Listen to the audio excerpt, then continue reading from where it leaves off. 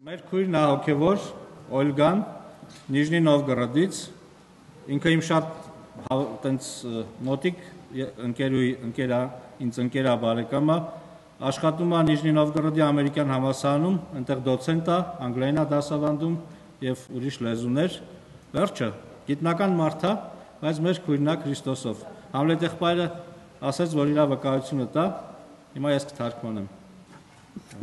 Здравствуйте, дорогие братья и сестры. Բարև ձեզ, սիրելի քույրեր, եղբայրներ։ А, Мир вам и привет от Нижегородской христианских церквей. Խաղաղություն ձեզ եւ մեր ը, ողջույնները Նիժնի Նովգորոդի, ուրեմն քրիստոնեական եկեղեցիներից։ В России у нас сегодня Пасха. Христос воскрес. Այսօր մենք ը, ը, զատիկն ենք տոնում Քրիստոս հայրավ իմերելոց։ Воистину воскрес։ А, Вардан попросил меня рассказать немножко о том, как я пришла к Христу. Հիմա պատմեմ, թե ինչպես եմ քրիստոնյա դարձել։ Я выросла в Советском Союзе, как многие из вас. Սովետում եմ ծնվել եւ մեծացել, ձեզանից շատերի պես։ Я выросла в, с- с- в семье настоящих коммунистов. Իսկական կոմունիստների ընտանիքից եմ։ У меня дед коммунист, отец коммунист. Պապս, հերս կոմունիստ էին։ И мои друзья-коммунисты научили меня, что самое главное – это отдать жизнь за Родину, трудиться. И в этом весь смысл жизни. Потому что коммунизм, потому что нас ждет светлое будущее. Եվ իմ ը, նախնի կոմունիստները ինձ ասել էին, որ կյանքի նպատակը այնա, որ կոմունիզմի համար կյանքը 10 լավ աշխատես, ա- փա- ապա ապագա պայծառ ապագայի համար։ Էսա կյանքի իմաստը։ Но когда я уже училась в университете, на последнем курсе, а, стало понятно, что это несостоятельная система жизни, и так этого мало. Это на самом деле не дает главного смысла жизни. Երբ որ ես համասարանի վերջին կուրսում էի, հասկացա, որ այդ գաղափարախոսությունը փուչու դատարկ է, սա կյանքին հարցերին չի պատասխանում։ И э, стало понятно, что жить м, нет, нет чего-то, ради чего вот реально стоит жить. Հասկացա, որ կյանքը իմաստ չունի, այդպես բան չկա, որի համար արժի իրոք ապրել։ А я так не могу жить. Իսկ ես այդպես չեմ կարող ապրել։ Вот. И я помню, я позвонила своему папе и сказала, папа, что это все, то есть вот работа, семья, дети, это все. Զանգեցի, հորս ասացի, ուրեմն այս է կյանքը, աշխատանքը, ընտանիքը, երեխաները ու всё։ И папа говорит: "Ну, да, наверное, да". Հերս էլ ասաց, հա, երևի, երևի դա Я помню, что в тот день я немножко умерла, по-моему. Я այդ օրը карта մի քիչ есть. ես։ Подумал, ну что же делать? Ну такая же, значит, жизнь, значит, будем жить как Что же делать? Ну, вот так. Դե լավ, ինչ արած, ուրեմն տենց էլ կապրենք։ Но потом я познакомилась с христианами, которые приехали к нам из Америки. Հետո ես ծանոթացա որոշ քրիստոնյաներ, հետ, որոնք Ամերիկայից Ամերիկայից են եկել։ И они рассказывали нам об Иисусе, читали с нами Евангелие. Նրանք Հիսուսի մասին էին խոսում, ավետարանն էին կարդում մեր համար։ Я не очень слушала, думаю, ну, ребята, хорошие ребята, конечно, но заблуждаются очень сильно, ерунду какую-то говорят. Այդքան էլ ուշադիր չէի լսում իրանց, ասում էի, հա, ոնց որ թե լավ մարդիկ են, Ոտ։ բայց էշաշ դուս են տալի։ Но мы прочитали вместе с ними Евангелие, то есть я узнала, кто такой Христос. Բայց ը, հետո կարդացինք ավետարանը, ես իմացա ով է Քրիստոսը, Вот, они уехали, а, նրանք գնացին, мне казалось, что ничего не изменилось. ինձ թվում էր թե ոչինչ չի փոխվել։ Вот, и получилось так, что я осталась совсем одна и как-то шла просто по городу. Եվ այնպես պատահեց, որ ես միայնակ էի մնացել եւ քայլում էի քաղաքի մեջ։ Стало вспоминать, что нам друзья американцы говорили. Մեկ էլ միտքս եկավ ինչ որ ամերիկացի խոսում էին մեզ։ Нет, хорошие ребята, но, конечно, ерунда такая, что какой-то сын Божий, какой-то грех, чего-то լավ մարդիկ էին, բայց ինչ որ ախմախ բաներ էին խոսում, էլ ինչ Աստծո որդի, ինչ մեղք, ինչ սենց բաներ է, ինչ բաներ է։ И я шла просто и машина проехала, я просто стала машину пропустить, и вдруг, откуда ни возьмись, мысль, а что это, а что, если все это правда? Եվ երբ որ կանգնեցի, քանի որ մեքենա էր անցնում, կանգնեցի որ մեքենան անցնի, հենց կանգնեցի, միտք եկավ ինձ, իսկ եթե այս ամեն ինչը ճշմարտ ճշմարտություն է, И вы не представляете, как будто что-то там повернулось вот в голове, и все кусочки жизни вот один за другим, как домино, так тык-тык-тык-тык-тык. եւ չեք Начали պատկերացնի ինչ կա становиться на կատարվեց ինձ հետ։ Գլխիս մեջ ոնց որ մի բան sense ֆռած ուղեղիս մեջ, եւ այս կյանքիս բոլոր դրվագները դամինոյի նման ճ-ճ-ճ-ճ այսպես շարվեցին։ Понятно, откуда взялся мир. Հասկանալի դարձավ աշխարհը որտեղից է առաջացել։ Понятно, что такое хорошо, что такое плохо. Միանգամից հասկանալի էր ինչն է լավ, ինչն է վատ։ понятно, ради чего жить. Հասկանալի է ինչի համար արժի ապրել։ Я шла по городу, все это вот понимала, и мне становилось страшно, стра- мне становилось все страшнее и страшнее, потому что я понимаю, что если это правда, то я должна жить совсем по-другому. Եվ ես քայլում եմ այդ քաղաքով եւ քանի քայլում եմ, այնքան ավելի վախս մեջս մեծանում էր, որովհետեւ հասկանում եմ, եթե այս ամենը ճշմարտություն է, ես իմ կյանքը պետք է փոխեմ, ուրիշ ձևով պետք է սկսեմ ապրել։ Вы знаете, наверное, нашего журналиста Владимира Познера, да, который атеист и говорит, я атеист, потому что я знаю, что если я встану на колени перед Богом, мне придется все, все изменить. Հենց հայտնի ժուրնալիստ ունեն իրանք շատ հայտնի Վլադիմիր Պոզներ, ինքը հայտարարություն ա արել, ասում է ես աթեիստ եմ, աթեիստ եմ, որովհետև եթե հանկարծ ծունկի գամ Աստծո առաջ եւ խոստովանեմ իմ մեղքերը, ուրեմն իմ կյանքի ամեն ինչը ես պիտի փոխեմ։ Դրա համար էլ աթեիստ եմ։ Но меня папа с дедушкой научили, что если что-то правда, это не важно, нравится тебе это или нет, все, ты так должен жить, и все. Բայց պապիկս հորս հետ ինձ սովորացրել էին, որ եթե ինչ-որ մի բանը ճիշտ է, դա քեզ դուր է գալի, դուր չի գալի, դու այդ ճշտով պետք է ապրես։ Я пришла домой в тот вечер в общежитие, села на кровати и говорю, так, ну, Бог, если ты есть, то по определению Бога ты меня тогда слышишь, значит. Ես եկա հանրակացարան նստեցի անկողնուս վրա եւ այսպես խոսեցի Աստծո հետ, ասացի Տեր Աստված, եթե դու կաս, այսինքն եթե դու կաս, այդ նշանակում է, որ դու ինձ հիմա լսում ես։ Значит, если ты есть, ну, тогда давай, тогда давай будем жить как-то вместе. Хорошо, ладно. Եվ ես այսպես Աստծո հետ երկխոսության մեջ մտա, դե լավ, դե որ դու կաս, արի այնպես անենք, որ միասին ապրենք։ И я, Կարծես համաձայնվեցի այդ я մտքի հետ։ пошла спать, и утром проснулась, и все было по-другому. Бог был на небесах, жизнь имела смысл, просто все перевернулось. Դա առավոտյան որ արթնացա, ամեն բան իր ատեղներ ընկել, Աստված երկնքում էր, Փոխնանի բիսախ պատմում։ Бог на небесах, Да. мир имеет Աշ- смысл, Աշխարհը իմաստ ունի, կյանքի իմաստ ունի։ есть смысл в жизни. А, я. Все. Я приехала домой к родителям и говорю, вот так, я теперь поверила в Бога. У меня папа чуть не умер. Վերադարձա տուն ասացի, ես հավատացյալ եմ դարել, հերս ինֆարկտ էր ստանում։ Я не стану это долго рассказывать, это интересная история, но в течение э, полутора лет сначала мама, потом брат, Երկար պատմություն է, բայց կարճ ասած 1.5 տարվա ընթացքում սկզբում մայրիկս, հետո եղբայրս, э, папа, հայրս, второй брат, երկրորդ եղբայրս, Սեստրա։ քույրս, все пришли к Господу. բոլորը քրիստոնյա դարձան Տիրոջը մոտեցան։ Сейчас папа мой пастор в Հիմա церкви հերս բանա, հովիվ է եկեղեցում, во Владимирской области. И брат мой тоже пастор. եւ իմ եղբայրն էլ է հովիվ եկեղեցում։ Слава Господу Христу. Փառք Христос Հիսուս воскрес. Քրիստոսին, Քրիստ- Քրիստոս հայրավի մեռելուց։ Если бы кто-нибудь утром того дня, когда я поверила в Христа, сказал мне, что вечером я поверю в Христа, я бы ни за что не поверила. Այդ օրվա, այդ օրը որ ես հավատացի երեկոյան, եթե առավոտյան ինձ ասեին, որ դու հավատացյալ ես դառնալու, ես չէի հավատա այդ ա- ասողին։ И сейчас, когда я преподаю в университете, уже 25 лет я преподаю, Ես 25 տարի հիմա համալսարանում դասախոսում եմ, и я все время молюсь Господу, чтобы Господь совершил с моими студентами то, ես что Он сделал. ամեն օր աղոթում եմ իմ ուսանողների համար, որ Աստված իրանց կյանքում էլ հայտնվի այնպես, ինչպես իմ կյանքում Так հայտնվեց։ что если вспомните о нас, молитесь за это, пожалуйста, чтобы наши молодые люди видели Христа. Այնպես որ եթե հանկարծ մեզ հիշեք, ինձ հիշեք, իրանց համար էլ աղոթեք եւ իր այդ ուսանողների համար էլ, որ իրանք էլ գտնեն Քրիստոսին։ Спасибо вам. Շնորհակալություն։ ասեմ, որ ուրը Наши люди любят молят- молиться. Թող հիշի, որ միշտ իր համար կա Աստծո։ Запомни, что всегда за тебя будем молиться, Աստծո ուղիով կա։ чтобы ты шла по пути Бо- Господа. Спасибо. Можно я тогда скажу про мою псалм? А, Знаете, в пса- в псалме втором Երկրորդ сказано, երկրորդ սաղմոսում ա- գրված է. попроси, и я дам народы в наследие твое. Խնդրիր եւ ժողովուրդները քեզ որպես ժառանգություն կտամ։ Я прошу Бога дать мне всех моих студентов, Ես Աստծուն խնդրում եմ բոլոր իմ ուսանողներին տա։ Որպես իմ ժառանգություն, բոլոր տարիների իմ ուսանողների համար։ Если вспомните про нас, молитесь вместе со мной։ В общем, որ հիշեք, աղոթեք։ Спасибо։ Փառք Աստուն էս պահի համար։ Շատ ուրախ ենք, որ ձեր մեջ ենք գտնվում այս հանդիպման, այս ժամի համար, Փառք Տերոջ։ Ուրեմն նախ ուզեմ ասեմ, որ վկայությունները որքան կարևոր են մեր կյանքի համար, մեր հոգևոր աճի համար ու երանելի է, որ ամեն անգամ, ամեն պահի այդ վկայությունները լինեն, որպեսզի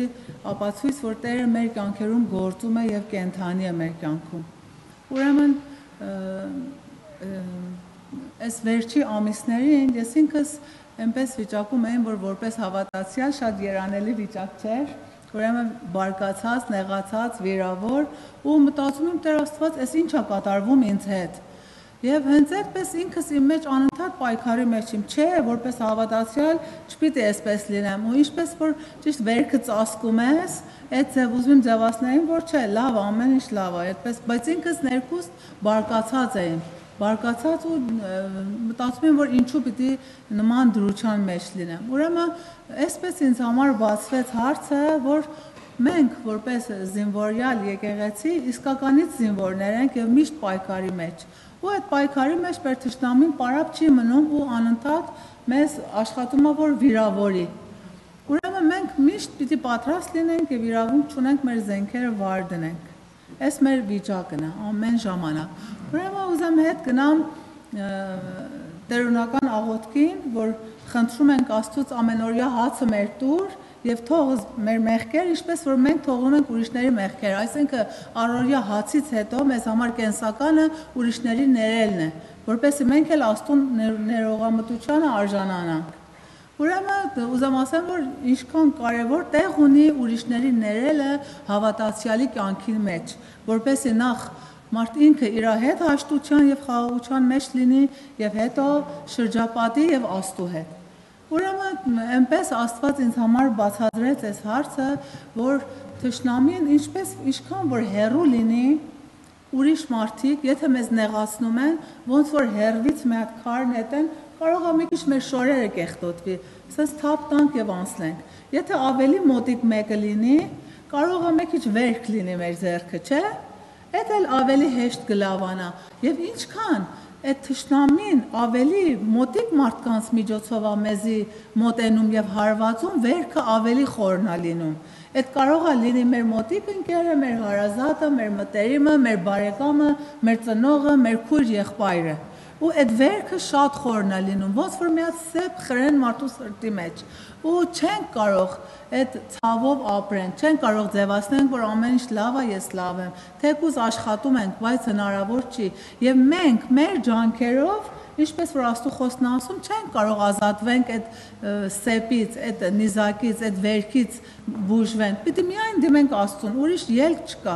Ու այդ ընթացքում որ Աստված այսպես ինձ հետ խոսում բացադրում էր, մի օր շատ լուրջ, արդեն հոգնել եմ ինքս ինձ հետ պայքարելուց, ասամ նեղվում եմ, նստամ ասամ, չէ, ես այս սենյակից դուրս չեմ երթա, մինչև դու ինձի չեմ բուժես։ Ու այդպես որ աղոթում եմ, տեսամ, որ Աստված այդ սեպը իմ սրտից հանեց։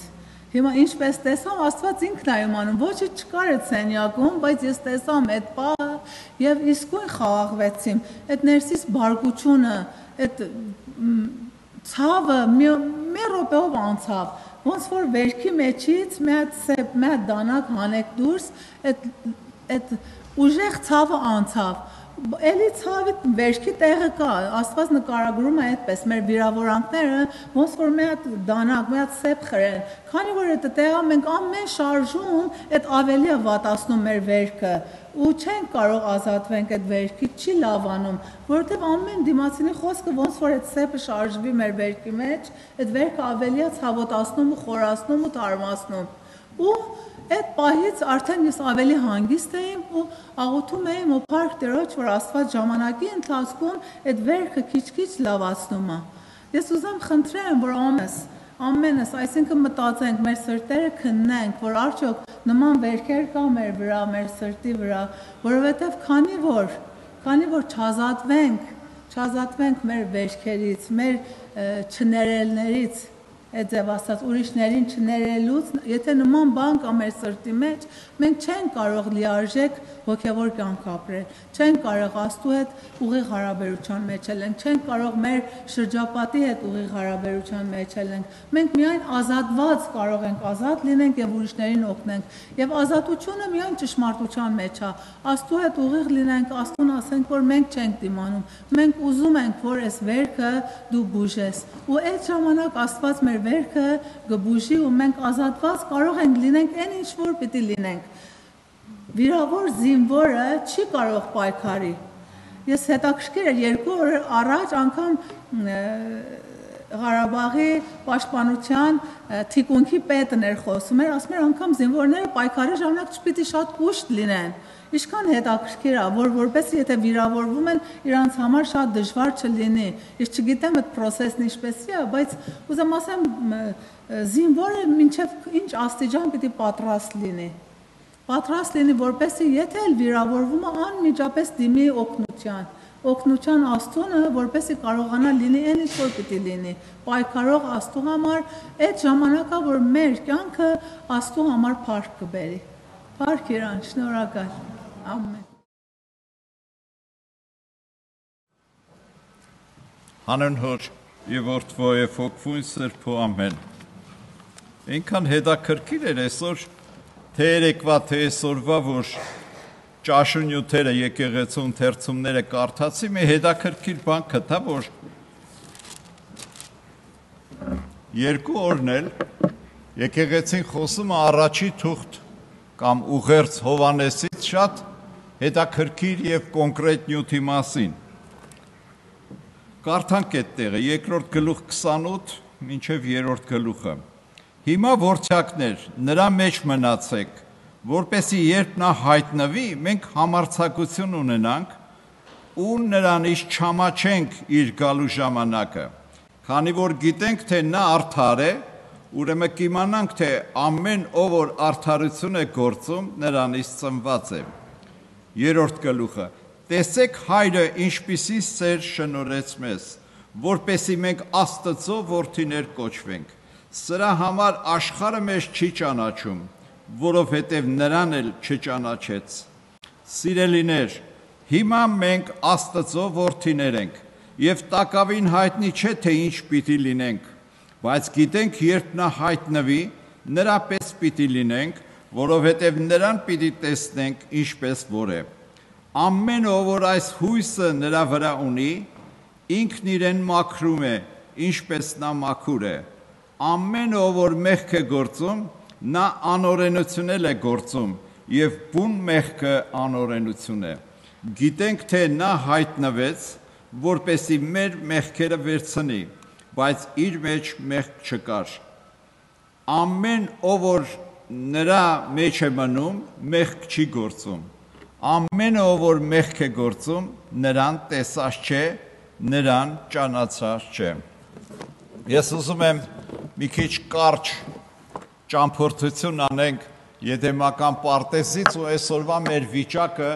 լավ ընտիր հասկանանք։ Ուրեմն ինչ էր եղել։ Աստված իր պատկերով, իր նմանությամբ ստեղծեց մարդկանց, արու եւ եկ ստեղծեց։ Եվ սրանց դրեց եդեմական պարտեզում աշխատելու համար, որպեսի գործեն, հսկեն եւ այնտեղ ապրեն։ Ուրեմն Ինչն էր հետաքրքիր։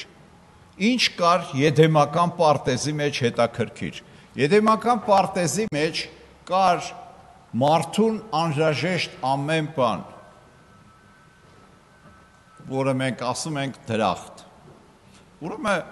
ամեն բան, ինչ որ մարդուն անհրաժեշտ էր, այնտեղ կար։ Բայց մի արգելք կար։ Պարտեզի բոլոր ծառերից կարող ես ուտել, բայց այս ծառի պտուղից մի կեր եթե հանկարծ ուտես, անշուշտ պիտի մեռնես։ Ուրեմն այս բանը հասկանալու համար մարդուն անհրաժեշտ էր հավատք, որտեվ ինքը չգիտեր ինչ է մահը։ Ընդհանրապես տիեզերքում մահ չէր եղել։ Անասունները, թրջունները, մոծակները, մանր մրջունները ոչ ոք չէր մահացել։ Եվ մարդը չգիտեր, անորոշություն կար։ Ինչ էր պետք մարդուն Նրան անհրաժեշտ էր, որպեսի հավատքով ընդուներ Աստծո այս պատվիրանը ու պահեր։ Երբ ես նոր էի դարձել եկել, մտածում էի, այ մարդ, այս Ադամը այս ինչ արեց, այս ինչ կրակը մեզ գցեց։ Բայց հետո տեսա մենք էլ ենք նույնը անում։ Օրինակ, Աստված իր պատկերով եւ իր նմանությամբ էր ստեղծել եւ նրան ժառանգություն էր տվել գրեթե բոլոր ստեղծվածներին հրեշտակներից բացի նայեք օթի մեջ թռչողներին գետնի վրա քայլող բոլոր անասուններին ջրերի մեջ եղող բոլոր բաները պետք է հնազանդվեին մարդուն։ Այս պաշտոնի գիտակցությունը Ադամի մոտ շատ տկար էր։ Ինչ գիտեմ, որտեվ երբ որ օծը գալիս է իր հետ խոսելու, ինքը պետք է մտածեր, իմ պաշտոնը, որ ես ստացել եմ Աստծուց, այս պաշտոնը, պաշտոնի բերմամբ, այս օծը ինձ պետք է ենթարկվի, բայց եկել է ինձ խելք հասովորացնում։ Սա շատ կարևոր պահ էր Ադամի համար, եւ ինքը պիտի այստեղից շուր գար, մտածեր, որ մի բան սխալ է, եւ ինքը խորուրդ պիտի աներ Աստծուց, որովհետեւ Աստծո հետ հաղորդակցությունը շատ հեշտ էր։ Ինքը գնում էր եւ Աստծո հետ խոսում։ Այստեղ Աստծո հետ հաղորդակցության մեջ հավատքը անհրաժեշտ չէր։ Որտեւ ինքը տեսնում էր Աստծուն եւ հաղորդակցվում էր նրա հետ։ Մեծ աստվածաբաններն ասում են, որ Ադամը իր վրա հակել էր Աստծո փառքը։ Շատերն ասում են չէր տեսնում, ոչ չէր տեսնում, այդ ոնց է ես ու դու տեսնում ենք ինքը չէր տեսնում։ Ամեն ինչ էլ տեսնում էր եւ տեսնում էր, որ իր վրա Աստվածային փառքը կա, որ ինքը ճոխ ու շքեղ հակել էր Քրիստոսը։ Դրա համար դարձի եկող հավատացյալներին հետագայում Պողոս Սրբազան առաքյալը զգուշացնում էր. ձեր վրա հակեք Տեր Հիսուս Քրիստոսը։ Տեսեք ոնց է բոլորը իրար կապնված։ Հիմա ինչ է դուրս գալի։ Դուրս է գալի, որ այս մարդիկ մեղ գործեցին Աստծո ասացի համեմատ ժառանգեցին մահը, դժվարությունները, տանջանքներն ու չարչարանքները։ Եվ բոլոր մարդիկ Աստծո զավակներ են։ Օրինակ, երբ որ մեր երեխեքը մեղք են գործում, մենք նրանց չենք սպանում եւ ճիշտ էլ անում ենք։ Աշխատում ենք ձև գտնել, եղանակ գտնել, դաստիարակել, որպեսի նրանք ճշմարտությունը ճանաչեն եւ այդ ճշմարտությունով ազատ լինեն, չլինի թե մեղքի գերի մնան։ Հիմա ինչ եղավ։ 2016 տարի առաջ Աստված ուղարկեց իր որդուն Հիսուս Քրիստոսին։ Եվ Քրիստոսը աշխարհ եկավ։ Քրիստոսը Հայր Աստված եւ Որդի Աստված որոշեցին որդեգրել մարդկանց։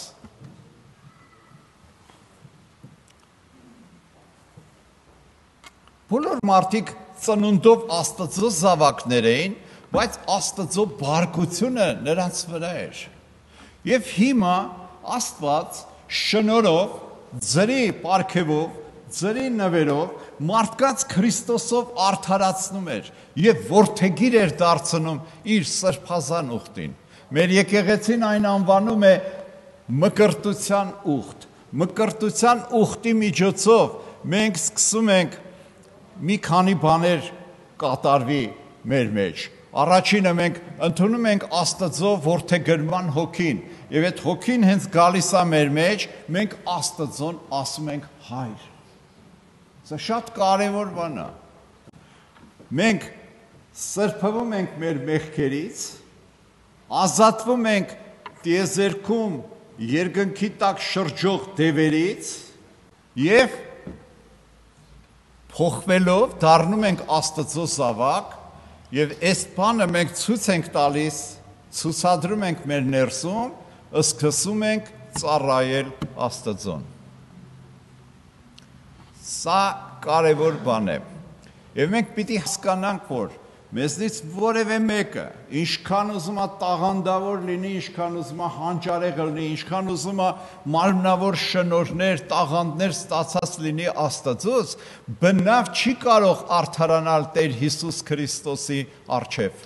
Աստված արդարությամբ պիտի դատի աշխարհը Հիսուս Քրիստոսի միջոցով։ Շատ քրիստոնյաներ այս գաղափարը վերցնում են հանգիստ բարձ են անում իրենց գլխի տակ եւ մտածում են ինչ ուզեն կարող են անել։ Ճիշտ Ադամն էլ մտածեց, ինքը իր կինը Աստծուն են տեսնում, Աստծուն են սիրում, Աստծո ձայնն են լսում, ինչ ուզեն կարող են անել։ բայց մի բան կար, որ չէին կարող անել։ Աստծո հրամանը, Աստծո կարգադրությունը, Աստծո հրահանգը արհամարելը բերեց նրանց դժողքի տարապանքի շատ վատ վիճակների մեջ բերեց ու նրա սերունդները ծանր վիճակի մեջ ընկան։ Եվ դրա համար Հովանես Առաքյալը խոսելով մեզ պատմում է Աստծո սիրո մասին։ Լավ, բաց, սխալ, մխալ, մենք այսօր Աստծո զավակներ ենք։ Փառք Աստծո։ Բայց մի հատ բան կա։ Այս սիրո առաքյալը մեզ հորդորում է, ասում է շատ զգուշ արեք, ապրեք ձեր կյանքը, ձեր ընթացքը, ձեր նպատակը թող մի բան լինի։ Հովանու ավետարանում հիշում եք Կիրակի օրը մենք դրա մասին խոսենք, ոմանք հիշում են երևի, Աստված մեզ հրահանգ է տալի։ Մի պատվիրան եմ տալի ձեզ։ Աստծո տված պատվիրանը հավիտենական կյանք որ նայեմ ես դե ոնց կարա պատվերը լինի Հովանու ավետանում է գրված որ Աստված մեզ պատվիրան է տալիս եւ այս պատվիրանը հրամանը հրահանգը կարգադրությունը հավիտենական կյանք է ուրեմն ես հիմա այսօր պիտի ապրեմ այդ կյանքը եւ ես պիտի պատրաստվեմ այդ հավիտենական կյանքի համար սա Աստծո հրամանն է Սա Աստծո պատվիրանն է։ Ինչպես Ադամի ժամանակ այդ պատվիրանը խախտողները կործանվեցին եւ արդեն առաջի սերնդի մեջ Ադամի տղաների մեջ մենք տեսնում ենք մարդասպանություն։ Ադամն ու Եվան շատ լավ սկսեցին գիտակցել թե ինչ է մահը Իրանց տղաներից մեկը սպանեց մյուսին։ Նրանք ոչ թե պատմելով, հապա իրենց աչքերով տեսան այդ սարսափելի բանը։ Եվ ի՞նչ ասեմ։ Հիմա մենք Աստծո որդիներ ենք։ Ոչ թե վաղը, ոչ թե մեռնելուց հետո, մենք բոլորս հենց հիմա Աստծո զավակներ ենք Հիսուս Քրիստոսի վրա եղած հավատքով, Փառք Տիրոջը։ Եվ մի հատ բան կա, որ շատ հստակ է։ Հովանես Առաքյալը ասում է մենք չգիտենք, թե վաղը ինչ պիտի լինի։ Մենք տեղյակ չենք։ Բայց մի բան գիտենք։ Երբ որ Քրիստոսը հայտնվի հոր փառքով, հրեշտակների փառքով, Աստվածային իր զորությունով, լույսերով եւ այլն, մենք նրան պիտի տեսնենք ինչպես որ է։ Եվ այս ամեն բաները շատ լավ են, քրիստոնյաները սրանք գիտենք, երբեմն կրկնելը լավ է, բայց մի բան կա, որ մենք պետք է զգուշանանք մեղքից։ Տեսեք ինչ ասում։ Ամեն ով որ մեղք է գործում, նա մեղքը չի, նա Քրիստոսին չի տեսել Սա շատ հայտնի բան է։ Օրինակ մենք ծանոթներ ունենք, քարոզներ են անում, աղոթքներ են անում ու հանգիստ մեղք են գործում։ Ես ձեզ պատմել եմ երեք քարոզիչների հետ մեր հանդիպման ժամանակ, ես ասեցի, ասի եղբայրներ, դուք նոր ուրիշ բան եք ասում, հիմա ուրիշ, դուք սուտ եք ասում։ Ասում խի վատ է։ Հա, շատ վատ է։ Եթե ես նստած մտածում եմ ոնց պետք է խափեմ սրան կամ նրան, դու Աստծուն չես տեսել։ Այդ մարդը ինչքան ուզում է հրաշքներ անի, ինչ զորություններ ուզում անի, Աստծո հետ կապ չունեցող մեկն է։ Ես չեմ ասում, թե մենք մեղք չենք գործում։ Եթե որևէ մեկին հանդիպեք, որպես ինքը պնդի թե ինքը մեղք չի գործում, ուրեմն սուտ է խոսում։ Հարցը ուրիշ բան է։ Հարցը մարդուն խոս, խոսեցնում ես, մարդուն ասում ես դու սուտ ես ասե, ասում ախի վատ բան է։ Հա, շատ վատ բան է։ Առաջի անգամ լսեցիր։ Ուրեմն, տեսեք քրիստոնեության մեջ ինչ հետաքրքիր մի պահ կա։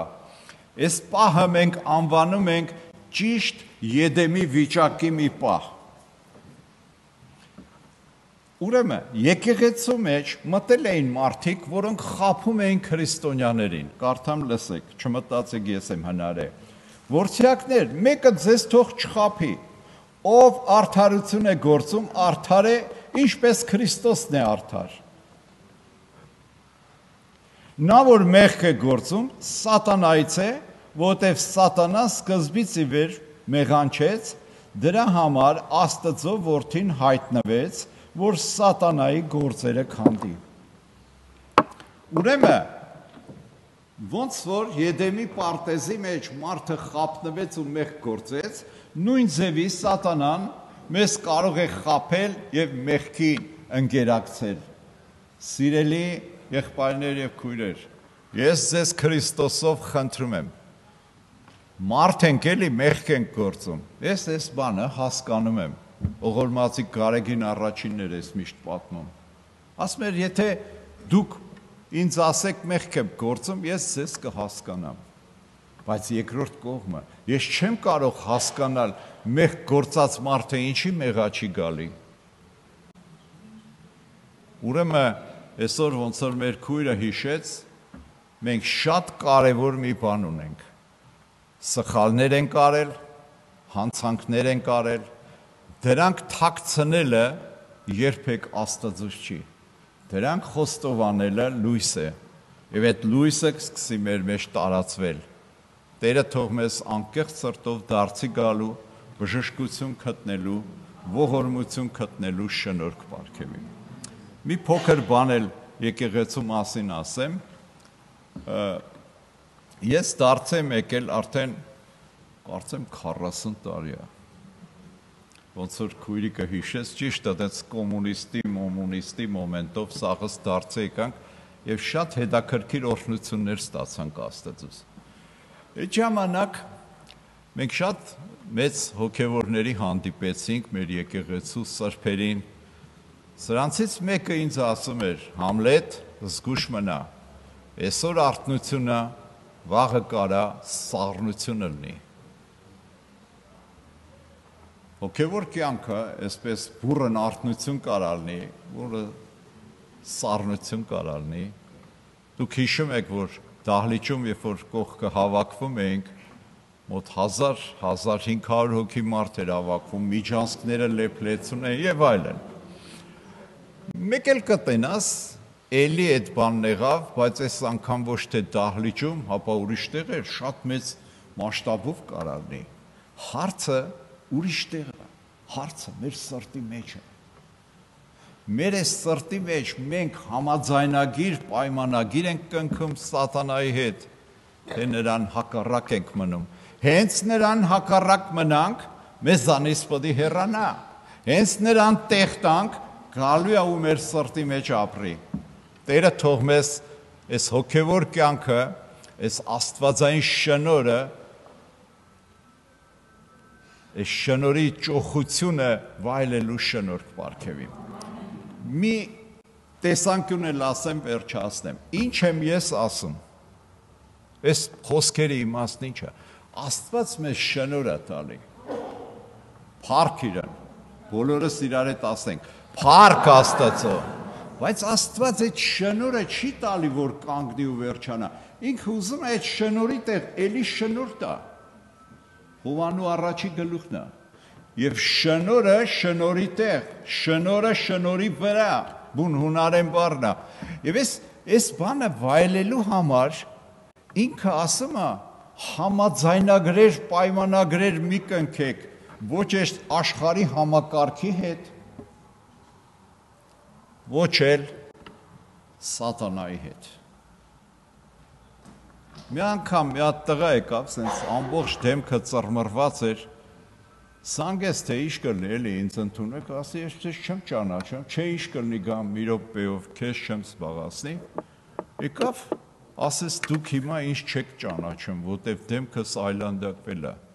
Ես ասեց ոստիկանության աշխատող էի, ինչ խոսում էիք, ձայնագրում էի, տանում էի ներկայացնում ու Աստված ինձ sense պատժել է ասում չեմ հիշում քեզ, կներես էլի։ Ասես ինչ կապ ունի հիշում եք թե չէ։ Ինչ կլինի իմ մեղքերը ներեք։ Ես շատ վատ բան եմ արել։ Դրա մեղքերը ներինք, բան արենք, խոսենք, բան թողեց գնաց։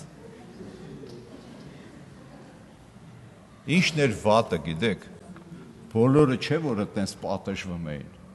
Աստված սրան այնքան սիրեց, որ իր մեղքերի համար պատժեց։ Անցան տարիներ, հետո իմացանք, այս ընկերը, այս մեր ընկերը շատ ընկերներ ուներ մեր մեջ։ Մի մասը նույնիսկ քարոզի չէին։ Բայց սրանք ոչ դեմքը ծռվեց, ոչ է կյանքները ծռվեց, սրանք չխոստովանեցին։ Ես հավատում եմ, չգիտեմ դուք հավատում եք, որ դժոխք կա թե չէ։ Ես հավատում եմ, որովհետև դժոխքը չգիտենք, կա թե չկա, Աստվածա մեզ ասե։ Եվ այդ դժոխքի մեջ մարդիկ տարապելու են։ Անունը ինչ ուզում ես լի, ուզում ես թե գրի Զաքարյան Համլետ, լավ քարոզիչ էր, սաղս լսում էինք, սրսրթում էինք, բժշկվում էինք, կապ չունի։ Եթե մեղք ենք գործե, եթե մեղքի հետ դաշինք ենք կնքե, համաձայնագիր ենք կնքե, պայմանագրեր ենք կնքե, մենք պիտի խոստովանենք եւ Հիսուս Քրիստոսի արյունը կսրբի մեզ ամեն մեղքից։ Ուրեմն քրիստոնեական կյանքի ворթեգրման ճանապարհի մեջ միած սխալ բան կա, վատ բան կա, որը կար Եդեմի պարտեզի մեջ՝ մեղքը գործելը։ Եվ ասում է ամեն մեղք անօրենություն է։ Ամեն մեղք հանցանք է։ Եվ այս մեղքեր գործողները Երանի անկեղծ սրտով մեղական ապաշխարեն բժշկություն ու ողորմություն խնդրեն Աստծուց եւ Աստծո ողորմությունը, Աստծո գթությունը, Աստծո ներողամտությունը, որ մեր խելքից, մտքից այն կողմ է շատ բարձր է, գալու է եւ այս բոլորին ողորմություն անի, ների ու բժշկի։ Ես սիրելի եղբայրներ եւ քույրեր, անկեղծ սրտով խոստովանում եմ, որ այս օրվա այս խոսքը Աստծուց եմ առել։ Քույրն էլ վկայեց այդ մեղքի գուրգուրելու մասին։ Ինչ կլինի մեղքը էլի խոստովան էլի, բա գնաց Աստծո առաջ կանգնես։ Մեր մեջ չկա մեկը, որ ասի, ես առավոտը կլուսացնեմ, ինչ գիտես։ Մենք մի ժամ հետո, մի վարկյան հետո չգիտենք ինչ կլինի։ Իմ աղբերը շատ պին ձիգ տղա է, շատ շատ Պարկաս տեղը, մեռավ, 3-4 րոպե տևեց։ Ինքը չէր կարա ասել, որ ես մի օր էլ պիտի ապրեմ, մի ամիս էլ պիտի ապրեմ, մի տարի էլ պիտի ապրեմ։ Մենք շատ զգուշ ապրենք այս կյանքը։ Մենք չգիտենք վաղը ինչ լինի, բայց մի բան հաստատ գիտենք, որ երբ Քրիստոսը հայտնվի, իր նման պիտի լինենք։ Մենք այդ հույսը ունենք։ Ով ունի այդ հույսը։ Քրիստոսը գա իրան նման են կլնելու։ Բարձրացրած ձեռդ ման է։ Այդ հույսը ունենք եւ Աստված ասում է ովքեր այս հույսը ունեն, ճշմարտապես այս հույսը ունեն, իրենց ինչ են անում։ Մաքրում են։ Իրենց մաքրում են։ Մաքրելու համար մի քանի գործիքներ կա։ Մի օր մանրամասը խոսենք, կարճ ասեմ։ Աստծո խոսքը մեզ մաքրում է Քրիստոսի արյունը մեզ մաքրում է, խոստովանությունը մեզ մաքրում է եւ տարբեր մաքրելու միջոցներ կան։ Մեր տանն էլ այտենց է։ Օրինակ ես այտենց լված կանելուց լավ չեմ հասկանում, բայց գլխի մնգե որ նյութեր կա, շորեր, որ ժավել են դնում։ Բայց բաներ կա ժավել չեն դնում, այդ սպիտակեսնող կամ մակրող հեղուկն են մենակ օգտագործում։ Հետո բաներ կա, ես ուշադիր նայել եմ։ Օրինակ ցեխա, չէ՞։ Այդ ցեխը չէ դնում լվացքի մեքենայի մեջ, ինչ են անում։ Ձեռով ճմռում թափում են, հետո են դնում։ Ինչի։ Այն որը որ ցեխոտ չի, էլ կցեխոտվի։ Հասարակ բաներ են, չէ՞։ Բաներ կա, որ մենք պետք է գցենք, շպրտենք, դուրս հանենք, որպեսի մաքուր լինենք, որտեղ Քրիստոսը մաքուր է։ Տերը ձեզ օրհնի